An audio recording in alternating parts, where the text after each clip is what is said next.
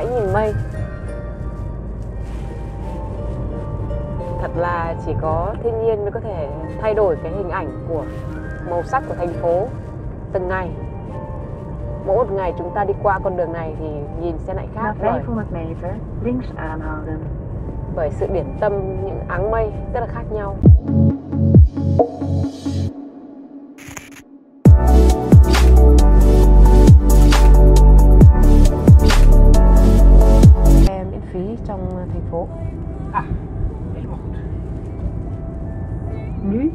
afslaan.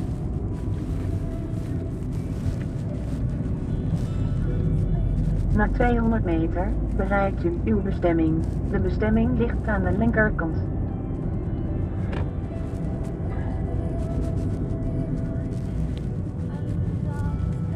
đây là bãi đỗ xe của thành phố mình có thể được đỗ xe miễn phí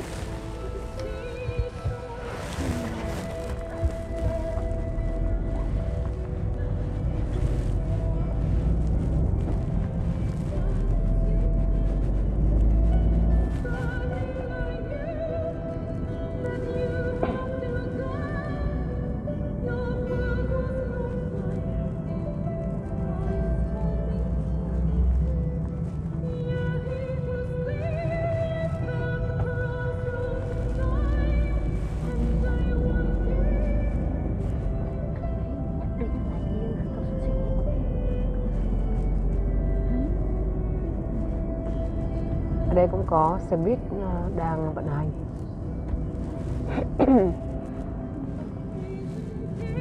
Có thể nhiều người cũng để xe ở đây và sau đó đắp bắt xe buýt để đi vào thành phố cho nên là à, đây là một cái điểm đậu xe buýt cũng rất là tiện ích cho những người à, trong tình huống giống mình chia và đội nhóm.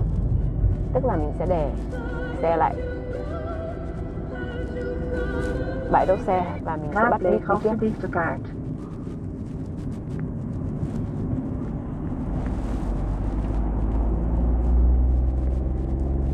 à, người dân mình chia đang tìm chỗ để có thể đậu được tại vì ở trên nó đã full rồi mình tiếp tục mình đi tìm cái nơi mình có thể đậu được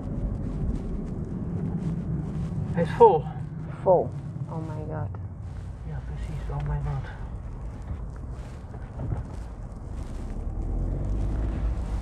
Nou, Dan moeten we wachten tot een auto wegrijdt. Toch maar wachten, van wordt het helemaal een drama.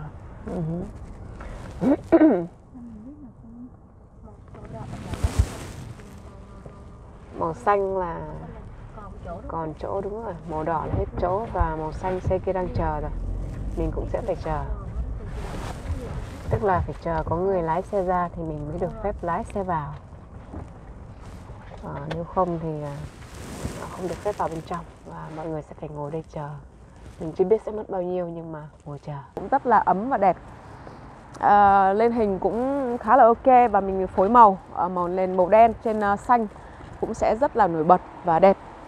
À, thì à, à, đi du lịch thì chúng ta sẽ có thể là hơi khó về vấn đề trang phục vì mình không thể mang được nhiều uh, cho một chuyến đi. À, nhưng mà chúng ta biết cách phối đồ với à, những phụ kiện như thế này thì nó cũng sẽ làm cho những trang phục của mình nó có thêm màu sắc và nó uh, trở lên thời trang và đẹp. Khi lên hình cũng sẽ rất là, là long lanh. À, đấy là một trong những cái mẹo tip nhỏ mà hình chia à, giới thiệu cho những bạn à, đi du lịch mà mình không thể mang nhiều quá nhiều quần áo nhưng mình vẫn muốn phối đồ. Mình vẫn muốn là lên à, đồ được đẹp và phong phú. À, hình chia thì thực ra không mang nhiều quần áo đâu nhưng mà mỗi một lần hình chia sẽ à, có một cái sự thay đổi bởi những chiếc khăn những cái đồ phụ kiện mang theo. Và nó gần như là à, thay đổi hầu như toàn bộ những cái à, à những cái um, hình ảnh bên ngoài của hình chia. Mỗi hôm sẽ là một chiếc khăn. À, màu khác nhau. Và quần áo thì có thể nó vẫn giữ nguyên nhưng mà à, phụ kiện sẽ làm cho mình trở lên khác biệt mỗi ngày. Và phụ kiện thì rất là nhỏ và dễ mang theo. Đấy là cái mẹo mà dành cho những bạn mà à, đi du lịch phượt nhưng mà vẫn muốn lên hình được xinh xắn thì đấy là một trong cái mẹo của hình chia.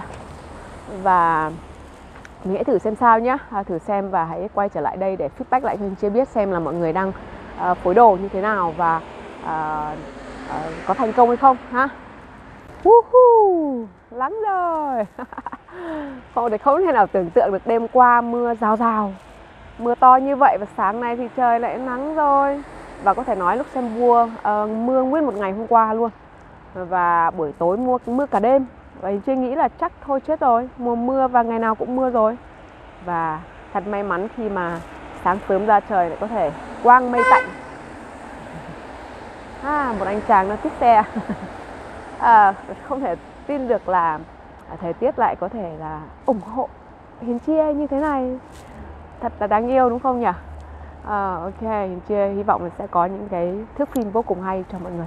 Ừ. Nên và đội nhóm hiến chia đã sắp xếp xong sau 10 phút. Phải nói là mọi người rất là giỏi sắp xếp và được luyện nhiều trong quá trình đi phượt. Ok, gọn gàng rồi và chúng ta đã sẵn sàng. Let's go!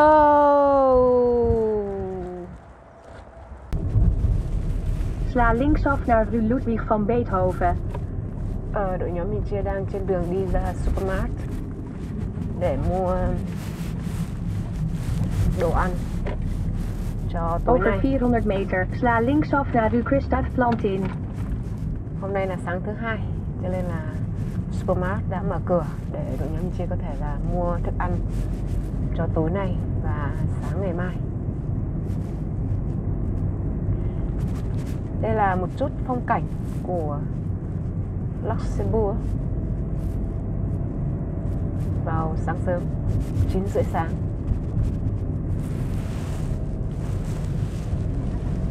Nou, dat mag niet. Oh, de ellende. Không được phép đậu xe cho nên là sẽ phải tìm chỗ đậu xe.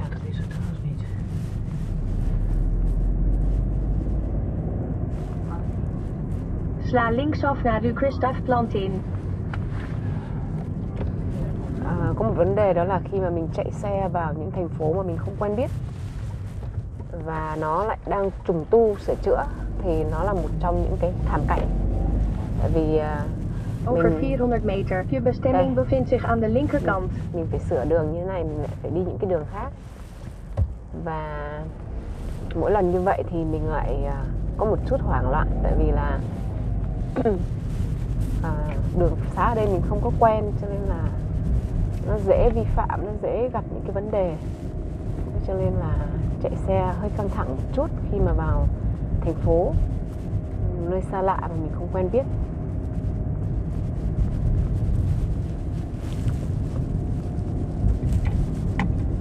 có thể nói châu Âu là một ờ, nơi rất là hiền hòa và yên tĩnh.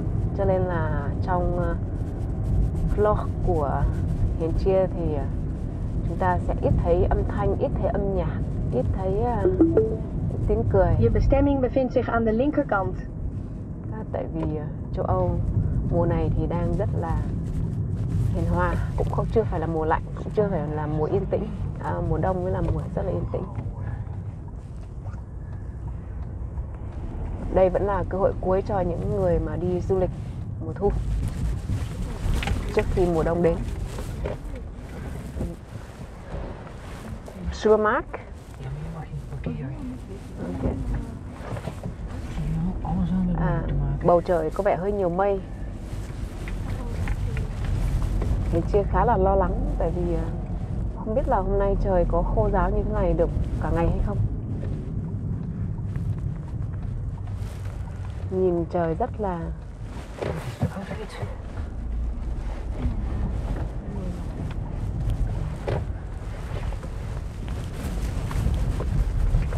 ôi trời. Đậu xe, tìm chỗ đậu xe.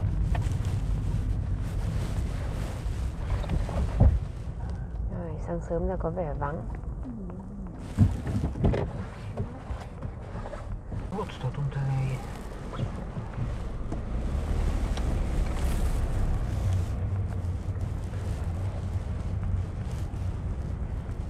Thoải mái đỗ xe.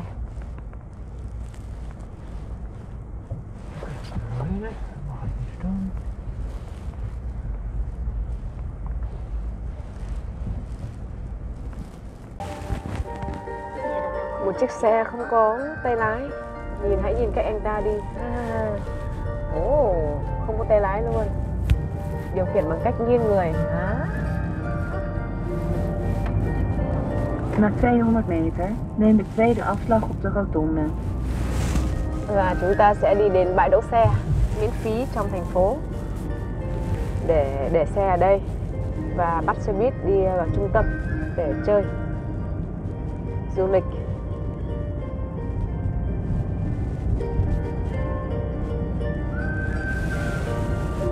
Trời vẫn tiếp tục đẹp. Tuyệt- hãy nhìn áng mây hãy nhìn mây. Thật là chỉ có thiên nhiên mới có thể thay đổi cái hình ảnh của màu sắc của thành phố từng ngày. Mỗi một ngày chúng ta đi qua con đường này thì nhìn sẽ lại khác bởi 500 meter links aanhouden. bởi sự điển tâm những áng mây rất là khác nhau. Đó là cái sự phong phú của tự nhiên.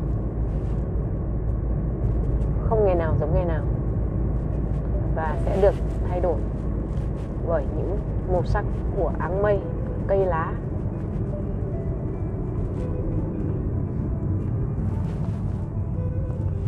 Na 200 meter. và chúng ta đã gần tới bãi đỗ xe miễn phí trong thành phố Ah. Nu rechts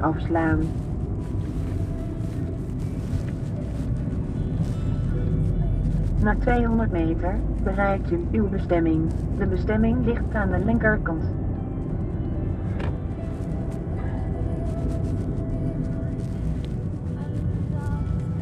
đây là bãi đỗ xe của thành phố mình có thể được đỗ xe miễn phí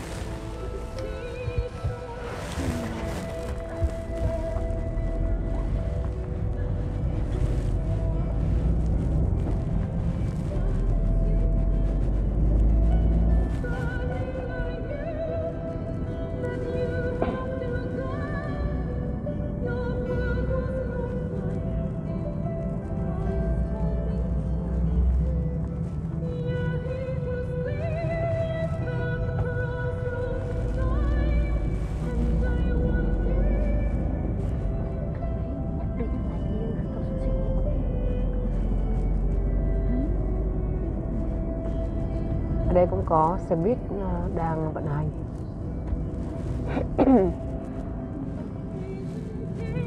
Có thể nhiều người cũng để xe ở đây và sau đó đã bắt xe buýt để đi vào thành phố cho nên là à, đây là một cái điểm đậu xe buýt cũng rất là tiện ích cho những người à, trong tình huống giống hình chia và đội nhóm. Tức là mình sẽ để xe lại. Bãi đỗ xe và mình sẽ bắt đi tiếp Raadpleeg alsjeblieft de kaart.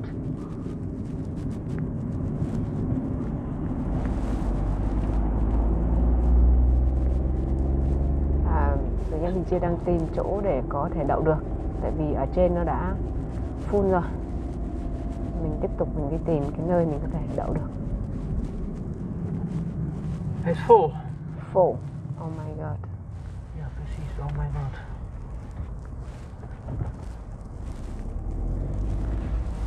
Nou, Dan moeten we wachten tot een auto wegrijdt. Toch maar wachten, want anders helemaal een drama. mhm.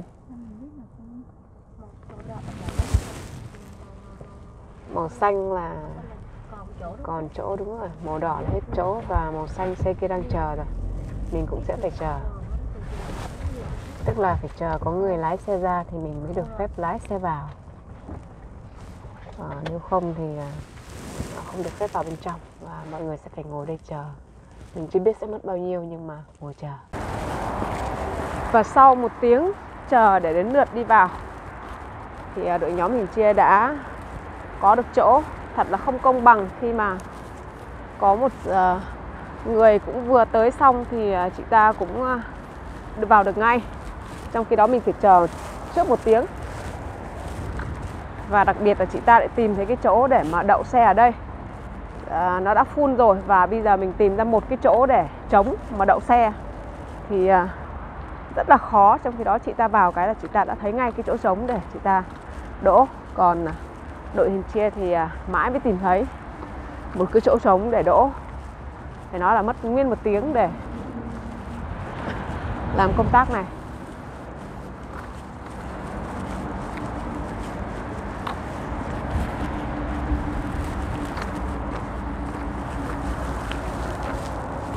Rồi Xe buýt kia mà không đi ra được phải đi à, hướng này. À, Rất là sợ xe buýt nó sẽ chạy mất mình sẽ phải nhanh.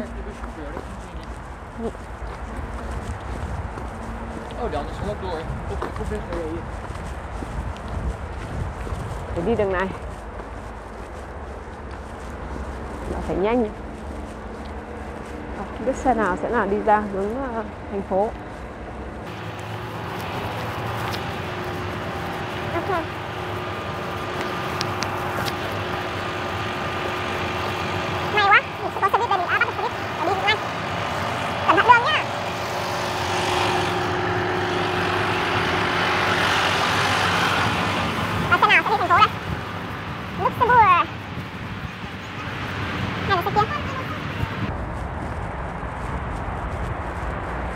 chị vừa rồi là tài xế. Chị à, mà đi vào bến và nhanh như vậy là hình như là chị tài xế. Ở đây thì không có người. Trên này có người. À, đúng rồi chị tài xế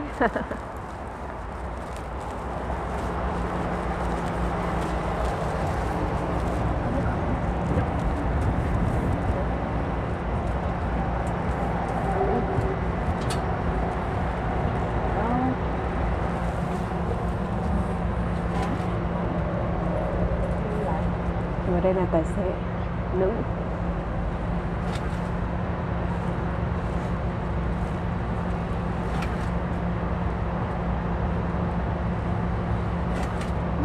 Voilà. Philippe, Ok. bien. Ja, doorlopen. Merci.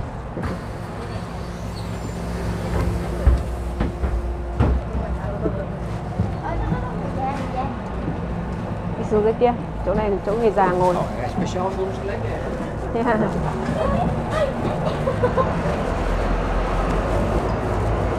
Ai, cả xe buýt có ba có đội nhóm hình chia thôi và vừa lên xe cái là xe chạy luôn có thể nói là cứ có khách là họ chạy Volgens mij die vrouw die um, net in de auto parkeerde, direct na die, die vrouw, die vrouw die was eigenlijk een saufer. Die met die, uh, Ja, ik weet wat jij bedoelt. ja. Zij is denk ik, ja. Volgens mij heeft spe speciale ticket of zo. Yeah. Và chúng ta được trải nghiệm trên xe buýt chỉ có đội nhóm hiền chia dành riêng đặc biệt cho nhóm hiền chia. Hay. Mặc nhiều đồ về sao lạnh em. em không mặc đồ ờ, có mặc đồ, nhưng mà ờ, nhưng mà chỉ mặc một cái áo mỏng ở bên trong thôi hôm bữa là mặc là một cái áo mỏng bên trong Ừ. ờ, một cái um, áo tay dài Ừ. một cái áo ngoài rồi một cái áo khoác nữa tổng là bốn cái áo Ừ. bữa nay thiếu một cái Thế sao không ờ, kiếm khăn mang thêm? Lên YouTube nha. tại vì diện đồ mà cái áo này nó chật rồi cho nên không mặc được cái áo bên trong được Ừ. Ok, yên tâm trời nắng rồi. Sẽ rất là ấm thôi. Ừ. À, và cảm xe buýt chả có ai hết, chỉ có nhóm hình chia thôi. Ngồi rất là đã. Ngắm cảnh thành phố ở đây.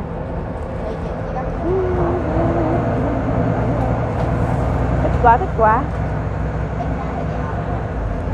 Ừ. Hôm nay mình có gam màu xanh cùng với lại xe buýt. Rất là tông tông. Em gái cười tươi quá. À, tài xế nữ nhá là xế nữ chạy rất là bốc luôn.